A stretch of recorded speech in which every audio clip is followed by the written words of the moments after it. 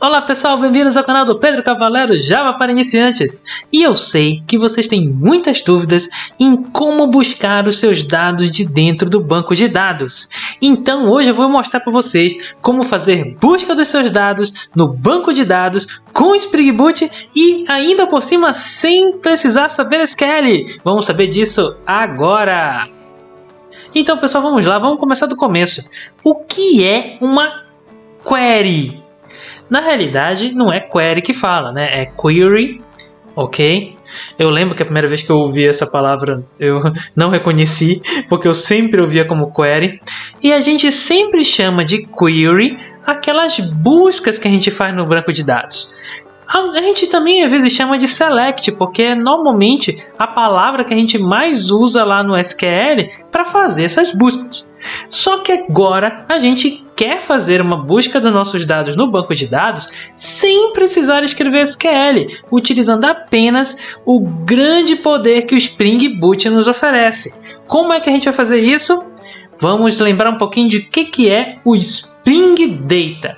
Eu estou aqui com o meu projeto que eu chamei de Crude Example e esse projeto eu já criei-o utilizando o Spring Initializer, o Spring.io, o Start.Spring.io que eu apresentei nesse vídeo que eu vou deixar aqui nos cards, ok? E esse e esse POM aqui, ele tem algumas coisas interessantes que são, em particular, o Spring Data, que é o nosso principal tópico de hoje, o Lombok, que eu já falei num vídeo anterior, que eu também vou deixar aqui nos cards, o Spring Data também já falei dele um pouco, como a gente começa, como a gente cria, ah, vou também deixar aqui nos cards, ok? E aqui na descrição, se vocês quiserem, tá bom? É, e eu também vou usar aqui o MySQL, que vai ser o nosso banco de, de uso para que a gente faça nossas chamadas, ok? E aí, o que foi que eu fiz aqui já? Eu criei então uma entidade chamada person. Eu estou aqui utilizando as anotações do Lombok, tá ok? Então, ele é um, um, uma classe que tem os getters e setters e toString, equals e hashcode, todo e tem o allArgs constructor. Aqui o noArgs constructor, ou seja, tem construtores sem, sem, sem parâmetros e com todos os parâmetros tá? E nós também anotamos ele com o arroba entity, que é uma entidade do nosso querido JPA. Aqui eu vou falar é, do, do Spring Data utilizando então o JPA, tá bom? E eu coloquei aqui três atributos dessa classe person, que é o ID, e eu coloquei ele aqui com a estratégia de identity para ele sair já criar um sequence lá para mim dentro do banco. Vou mostrar para vocês o string nome e o int age só para a gente ter aqui uma brincadeira para fazer, tá bom? Eu já criei também a nossa classe application normal, que é a nossa Spring Boot Application, também já falei disso em outros vídeos, vou deixar tudo aqui na descrição para vocês verem. É, e também já criei o Application Runner que recebe como parâmetro o nosso querido o person repository aqui, que é um componente do Spring Data, tá? Como é que esse cara é injetado, Pedro? Eu coloquei uma anotação do Lombok aqui que cria um construtor com esse parâmetro. E aí, o nosso querido Spring, já que ele é um component, ele injeta esse cara aqui para nós. Lembra dessa aula? Também tem nos outros nossos vídeos. Note que nós já temos bastante vídeos interessantes já para você assistir. E aí, o nosso Person Repository, ele no momento ele é apenas uma interface. Lembra que nós falamos de Spring Data e que o Spring Data se baseia nessas interfaces de repositories. O que que essas interfaces têm? Todos os nossos métodos de CRUD. Lembra o que que é o CRUD? Create, read, update, delete. Esses, essas interfaces já têm todos esses métodos. Então eu já tenho já o método de salvar, o método de, de deletar, o método de, de procurar por todos e tal. Então a gente consegue até escrever alguns códigos aqui para a gente começar a popular o nosso banco de dados. Vamos escrever um. Eu quero colocar aqui é, eu queria, eu quero poder criar, sei lá, umas 10 pessoas para eu poder começar a fazer umas chamadas em cima delas. Então, vou fazer aqui um for, né? Um for int int igual a zero e menor que 10, sei lá, vou colocar 10 vezes aqui e mais mais e vou criar uma pessoa não é pessoa, né? Person. Person P igual a new person que tem o ID, o nome e a idade. Eu não tenho ID por enquanto, eu tô mais um cara novo. O nome vai ser, vou chamar de nome. E eu vou ter que dizer um outro, vou colocar um i aqui, quer ver começar no nome 0, nome 1, um, nome 2, tá? E vou colocar a idade como i, certo? Que a idade vai então ficar fazendo 1, 2, 0, 1, 2, 3, 4, 5, 6, 7, 8, 9, 10, aquelas coisas. Vamos lá. E o meu, na minha, o meu objeto repositório ele já tem, por exemplo, o método save, que eu vou salvar a minha pessoa. Eu já salvo todo mundo. Vai ficar lá a meu, o meu, como o meu sistema não faz nada, eu vou mandar imprimir todos os caras que eu salvei. Como é que eu faço isso? O meu me mesmo objeto repository tem um método chamado findAll, certo? Eu vou então fazer um for each nele. Lembra do for each do Java 8 que tem nas na collections? Então vou fazer um for each e vou mandar imprimir. System.out dois pontos. lá. Beleza? Vamos rodar. Eu estou com Spring Source to Switch, então tem esse cara aqui. Vou mandar Dá um play. Deixa eu abrir aqui pra gente ver. Ah, fez bastante coisa. Vamos olhar o que, que ele fez aqui, ó. Ele começou a minha aplicação Spring Boot e eu coloquei uma configuração para ele começar a imprimir para mim o que, que ele está fazendo lá no banco de dados. Ó. Ele foi lá, criou a tabela, da minha tabela person e começou a inserir, a fazer vários inserts. Ó. Insert, insert, insert, insert, insert. Inseriu 10 vezes aqui, não colocou os valores. E ele fez um select, ó. select all, tá vendo? Select todos os caras from person, ou seja, vem todos as pessoas. Isso aqui, pessoal, é o que a gente chama, essas coisas todas, tá? é o que a gente chama de SQL. Esse cara aqui, se eu for rodar direto lá no banco de dados, eu vou também conseguir ler todas as pessoas aqui. A gente pode criar um select. Lógico, aqui está um pouco maior do que poderia ser, mas se a gente fizer, por exemplo, só um select asterisco from person, ele vai mostrar todas as persons lá no banco. Quer ver? Vamos olhar. O banco está aqui na nossa mão. Então eu tenho aqui agora a tabela person, tá vendo? eu vou dar aqui um select asterisco from person. E ele vai estar tá aqui, ó, todos os nossos persons aqui. Beleza? Então, aí, só que você disse para mim, Pedro, que eu não iria precisar de SQL. Nem é exatamente o que eu estou mostrando, que eu vou mostrar. Vamos lá. Aqui foi só para ver que a gente consegue criar pessoas. Só que agora eu queria, por exemplo, fazer uma busca no meu repositório, mas não para buscar todas essas pessoas que eu inseri. Eu quero, na realidade, começar a buscar é, algum grupo menor de pessoas. Então, por exemplo, aquelas que têm idade menor que 5, né? ou maior que 5, ou, ou aquelas que têm idade igual a 5, aquelas que têm nome é, igual ao nome X, né? Vamos fazer vários desses aqui para gente, a gente começar então a testar? Eu vou apagar esse cara para a gente não ficar criando mais nomes e vamos ficar só com esse aqui para a gente imprimir depois.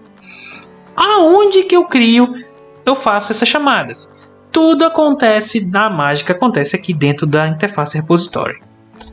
Como é que eu começo a criar?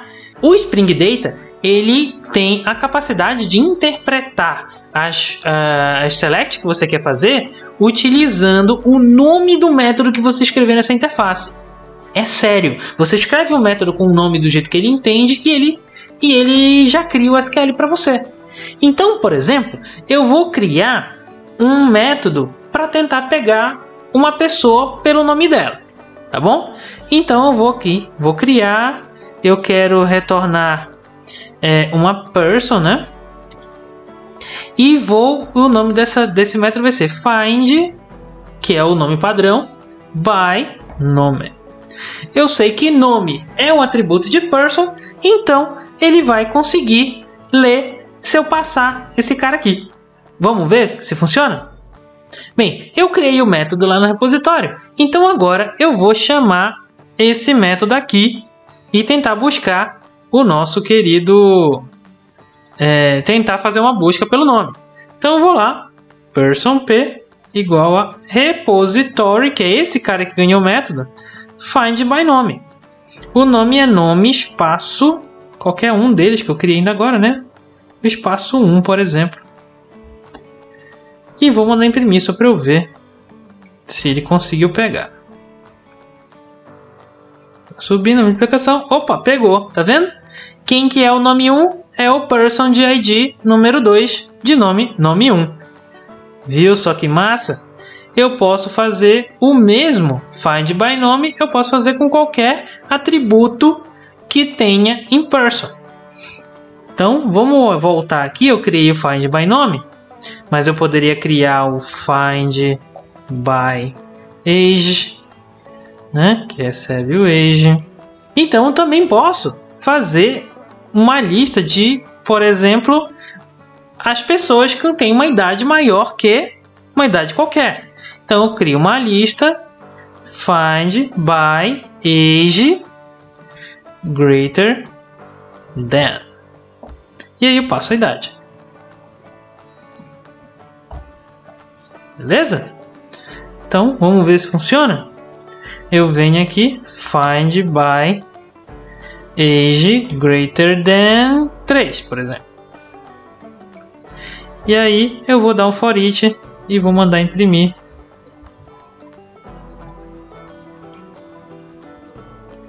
Para eu ver se ele consegue pegar todos aqueles person com idade maior que 3. Vamos ver, ó. Idade 5, 4, 5, 6, 7, 8, 9. Tá vendo? Idade maior que 3. Mas eu poderia ser maior ou igual. Então, se eu mudasse, por exemplo, aqui para greater than equal,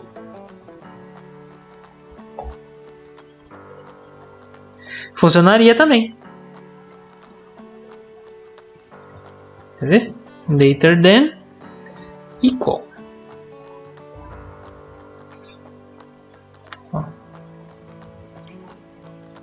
Olha aqui, agora é com 3. Tá vendo que legal? É, então dá para fazer greater than, greater than equal, less than, less than equal. É, eu posso fazer por dois atributos. Eu quero, por exemplo, pegar pelo é, maior que uma determinada idade e, e nome igual, por exemplo. Find by name and uh, and age ou and age greater than equal or name like. Esse é legal de fazer. A gente pode, por exemplo, criar um, ó. Eu quero todos os persons né, find by nome like. Então vamos fazer o teste aqui. Eu vou colocar o nome 1, mas eu não vou colocar com a letra com a letra maiúscula, vou dar com a letra minúscula, vamos ver se ele vem. Aí ele vem. Com a letra maiúscula. Ele também vem. Mas se eu colocar só o nome, ó, aí ele não vem né? Que aí eu tô na verdade querendo saber que, que aquele que essa palavra nome ou sei lá só o homem, só o, o me, ele ele está contido dentro daquela frase. Então tem um outro cara que a gente pode criar que não é o like, é o containing, ou seja, que contém aquele nome containing, que contém aquele nome dentro do outro. Então, se eu trocar esse cara aqui agora pelo containing, containing, containing nome, aí vem todos. Olha só, todos que tem, né? Todos têm nome. Todos têm me. Todos têm me. Mas só um deles tem o número 1, por exemplo. Aí, ó, só o que tem nome 1. Tá vendo? Ou seja, eu estou criando alguns SQLs a partir do nome do método. Né? Se a gente for olhar como é que foi criado esse SQL aqui, ó, SQL select person, blá blá blá, e ele coloca like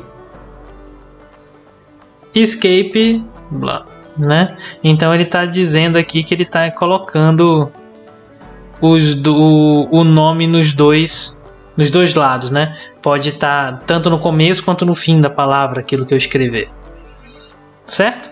E tem tem bastante coisas. Eu posso colocar, eu posso é, pegar é, uma coleção de IDs, por exemplo, ah, eu quero todos o ID, todos os IDs tal, então todos os nomes tal, né? Pode fazer isso. É, pode usar data, data antes, data depois. É que nosso exemplo não tem data também, né? É, enfim, tem, tem vários, vários exemplos aqui. Eu vou deixar aqui no, no link, aqui na descrição, o, o, o link do, do, da página, da tabela, onde você pode ver todos esses caras que você pode utilizar, beleza? Pode ordenar, sabe? Ixi, tem bastante coisa legal, né? Que você pode usar aqui é, criando esses nomes, ok?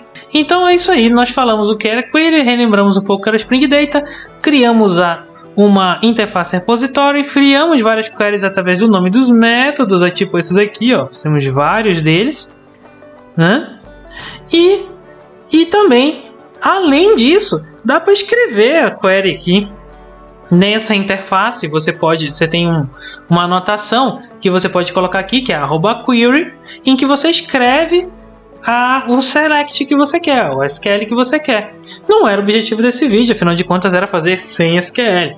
Né? Mas você pode colocar o SQL, seja o JPQL do JPA, seja o SQL nativo do seu banco de dados. Tá ok?